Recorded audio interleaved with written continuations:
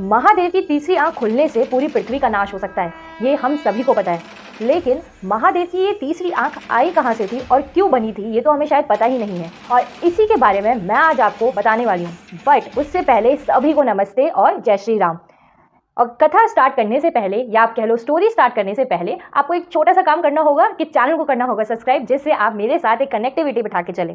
कथा की शुरुआत इस तरीके से होती है कि एक बार महादेव हिमालय पर्वत में बैठ के सभी देवी देवताओं, ऋषि मुनियों और ज्ञानियों के साथ बैठक कर रहे थे।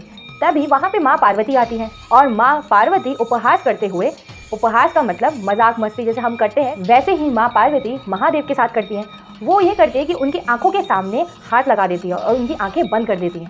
जैसे ही महादेव की आँखें बंद होती हैं, वैसे ही पूरी पृथ्वी में अंधकार हो जाता है। पृथ्वी में रहने वाले प्राणियों में हाहाकार मच जाता है। और जब ये चीज़ होती है तो तभी महादेव अपने मस्तक पर एक आँख के आकार की प्रकाश किरण प्रकट करते हैं, जिससे पूरे संसार में उजाला आ जाता है। इस चीज़ को देखकर माँ पार्वती महादेव से इस चीज़ का कारण पूछती हैं। तब महादेव उनको बताते हैं कि मेरी आँखें जगत की पालनहार हैं। ऐसे में यदि वे बंद हो जाएँ तो संपूर्ण सृष्टि का विनाश हो सकता है। और यही कारण है कि भगवान शिव ने पूरी दुनिया की रक्षा के लिए अपनी तीसरी आँख प्रकट की थी, जिससे पूरे संसार को रोशनी मिली थी और जीवन दान भी मिला था।